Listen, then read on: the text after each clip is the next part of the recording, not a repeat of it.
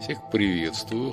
Продолжаем знакомиться с главами книги «Библия в иллюстрациях», гравюра на дереве Юлиуса Шнор фон Каральсфельда с библейскими текстами по синодальному переводу. Видение Петра На другой день, когда они шли и приближались к городу, Петр около шестого часа взошел наверх дома помолиться. И почувствовал он голод и хотел есть. Между тем, как приготовляли, он пришел в выступление и видит отверстие неба, исходящий к нему некий сосуд, как бы большое полотно, привязанное за четыре угла и опускаемое на землю. В нем находились всякие четвероногие земные звери, присмыкающиеся и птицы небесные.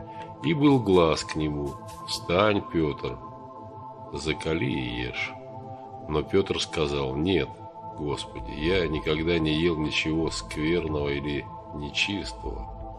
Тогда в другой раз был глаз к нему «Что Бог очистил, того ты не почитай нечистым».